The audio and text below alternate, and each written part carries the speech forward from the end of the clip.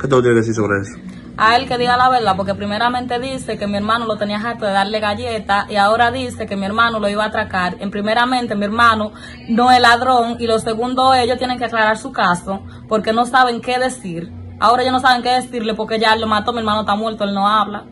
Ellos lo que tienen que ponerse claro, el abogado ese que se ponga claro y que diga que él lo mató porque quiso matarlo, pero no porque mi hermano fue a atracarlo. Porque si mi hermano había ido a atracarlo, entonces el que tenía que estar muerto era él y no mi hermano.